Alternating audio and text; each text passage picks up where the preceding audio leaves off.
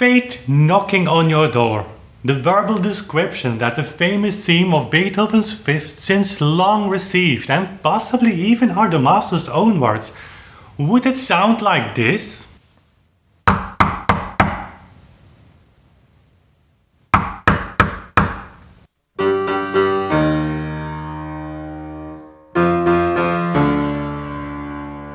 Or like this?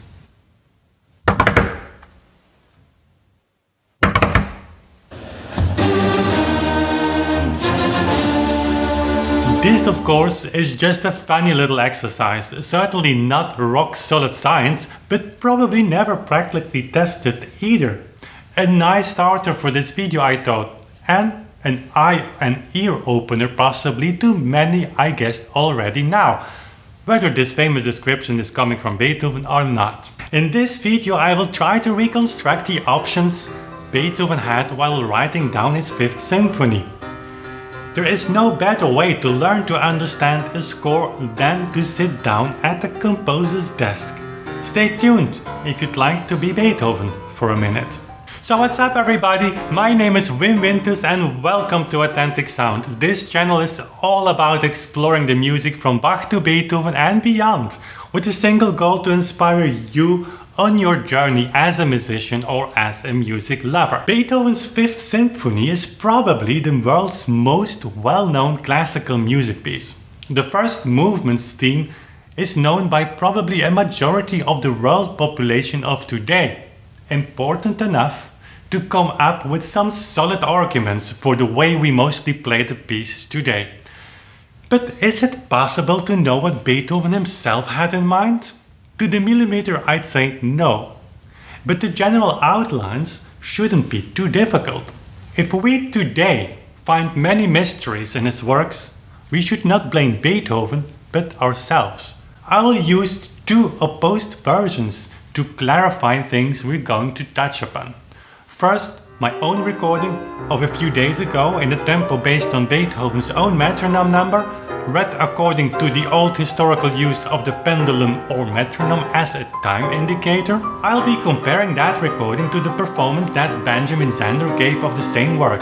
Zander performs in the same metronome number as I, but read in a way the metronome was described as a musical timekeeper, another use of the metronome, mostly applied for learning to keep time. Two completely different versions of the same piece, and of the same metronome number. But if the metronome causes so much troubles today, it's essential to return to some basic principles. One of those is to reconstruct the options Beethoven had in this particular case. What are the mechanisms he used to determine upon a notation that must have been really close to what he had in mind? And can we reconstruct all of that? The answer is yes. And surprisingly perhaps, it's not even that hard, though it's required that you understand certain basic principles. Don't panic, since some of those principles still are taught on music schools of today. You still remember your own first solfege lessons at music school? A 4-4 time signature means 4 quarter notes in a bar with a heavy accent on 1, a rather heavy accent on 3, and 2 and 4 as light beats. A 2-4 the same, but a heavy accent on every first beat, meaning a faster repeat of heavy accents of the first order. Further, you still remember that a 4-4 time signature is to be conducted and counted in 4 counts. So 1, 2, 3, 4, right? A 2-4 is counted 1, 2. That is a very old practice reflected in many if not all historical writings such as the pianoforte schools of Hummel and Czerny and many many others. Surprisingly, many of our problems would be solved if we'd only apply those in practice. Let's try this with the Fifth Symphony. Beethoven selected the 2-4 time signature, meaning two quarter notes to be counted in 1-2, where every beat has a quarter note heavy beat, light beat. It is important to realize that the second quarter note, notwithstanding it falls on a light beat, needs to stand on its own. It serves as the second main beat of the bar. It can never be absorbed by the first beat, Since then, the two quarter notes would act as two eighth notes instead. Still with me here? It's not that hard. But you may ask now, what's the maximum speed for a quarter note before it turns into an eighth note? Let me encourage you to try that for yourself. You'll soon experience that besides speed, also performance plays an important role. Historically, a long time agreed basic pulse, the so-called tempo ordinario, for common time, to add a difficult term in this discussion, is to give the quarter note a speed of about a second. A bit faster in case of allegro tempi, a bit slower in the direction of andantes, and adagios of course. You can start with Hotteterre's treatise L'art de préluder sur la flûte traversière published in Paris in 1719 if you'd like to do some research yourself. That's a very practical and internationally widely spread method in which he gives you very practical information on different time signatures, their relationships and how to conduct them. In all French sources, a tempo around the second is always given for the quarter note in common time with a normal notation pattern. Quantz on the German side is a little bit faster. We'll make a series of videos in the future dealing with the tempo ordinario and its speeds. Returning to our symphony, it's important to see that Beethoven used a very open version of a 2-4 time signature. Compare for instance the symphony's 2-4 time signature to the scherzo of his sonata opus 31. In the scherzo we see the 16th note as basic fastest note value, even on the edge of the 32nd note that still needs a strong and clear rhythmical distinct position. Harmonic changes even as fast as up to 8 notes. No such thing in the symphony. Harmonies easily go over the bar at fastest changing one time per bar. Both 2-4 time signatures, but such a different picture. It's not hard to understand that the scherzo goes in a slower pulse than the symphony. You'll read about the principle in Baroque sources as for instance C.P.E. Bach's book on keyboard playing, but even Czerny still writes on this principle in 1839 talking on allegro. Let me summarize and translate this into English. In an allegro, one can have notes of different length. In case you'll have 16 triplets, the tempo is to be taken somewhat slower as to not rush those notes. But when you only have simple 16th as fastest note value, one can play a bit livelier. On the condition there are no complicated harmonic progressions or polyphonic passages. In case only 8 triplets are used, the tempo again increases a bit. Again faster is the allegro where only 8 notes are used as fastest note value, as is in our symphony the case. If we, with all this in mind, return to both performances, you probably already start to see some interesting patterns already now. Listening to Zander's performance, we may very well see in the score two quarter notes per bar, but without a score at hand, one only hears one basic pulse per bar. The first beat of the second bar serves in this case as the light beat. In other words, it takes over the function the notation gives to the previous quarter note, the second one of the first bar. Listen again.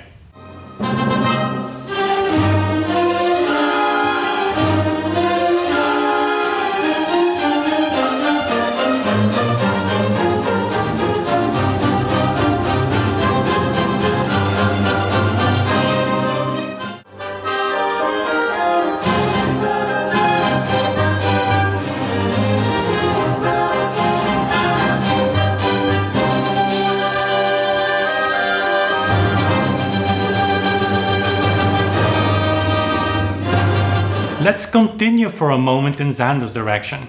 If we take a sheet of music paper and pretend for a moment writing down a rhythmical dictation based on Zander's performance, a notation with 16 notes would represent a much closer to Zander's sound result. Probably no one would come up with Beethoven's 8th note 2-4 notation. One could keep insisting that the third and fourth 8 notes in Zander's tempo have their own weight in the bar, but that's absolutely not the case.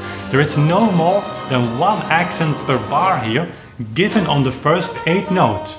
all three other eighth notes are relative to the first accent, hence becoming dependent of that first eighth note and thus bundled. a musical notation, that results in four sixteenth notes and not in four eighth notes. But even in my own version, the pulse still is very fast if we really insist on giving that third eighth note its accent.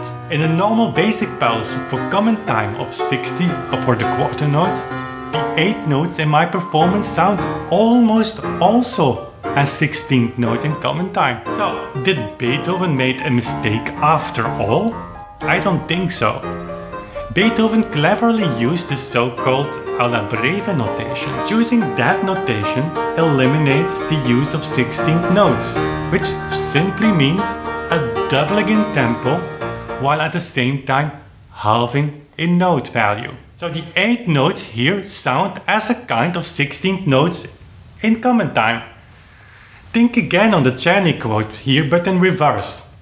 The slower the fastest basic note value, the opener the harmonic progression, the higher the speed. Reason for using this doubling halving alla breve notation is to emphasize a more legato, a more cantabile, a heavier performance. Beethoven, by definition here, wasn't after a brisk, heavily articulated sound of or performance. If that would have been his ideal, as the Zander performance takes this piece in, he made the wrong decision using this notation. So now what about that metronome number of half note 108? I soon need to make a series of videos on historical descriptions on how to use a metronome or how composers used it to indicate the desired tempo for their pieces. We will see then that often, for instance Gottfried Weber in 1813 described the metronome as giving both takt and Taktteile, the time and parts of the time. But how is that possible? How can a ticking device give both the time and the parts of the time? It's simple. Put your metronome in the case of a symphony of our symphony here at 108. Let it tick and it'll give you both the Zeitmaß, the takt, indicated here by the half note, and the Taktteile parts of the time, the quarter note, with every tick.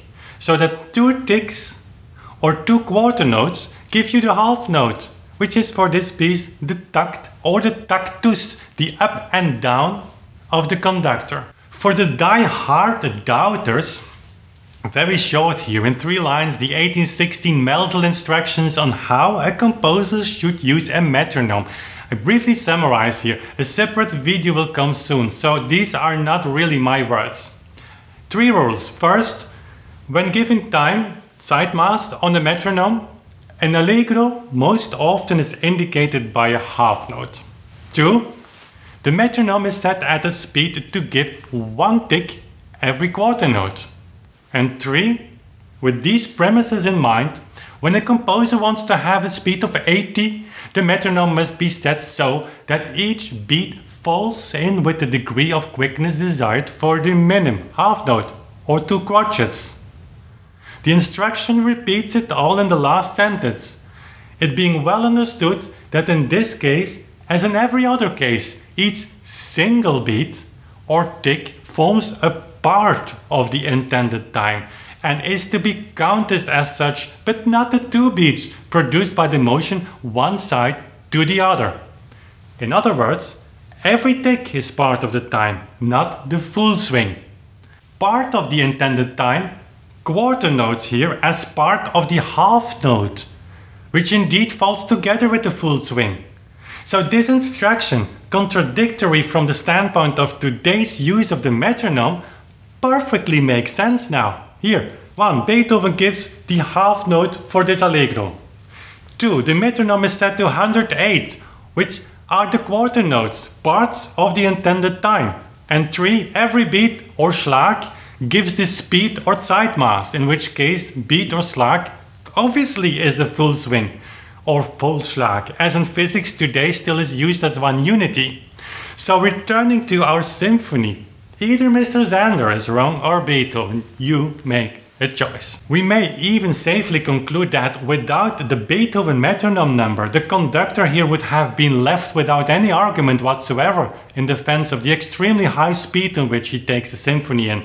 And as we have seen here and will see in future videos, that reading is not the way the metronome was used to indicate tempo, speed or time. The power in Zander's version, to which many apparently are attracted to, lies in a mere rhythmical excitement generated by a certain dynamism of the heavily accentuated groups of 4-8 notes.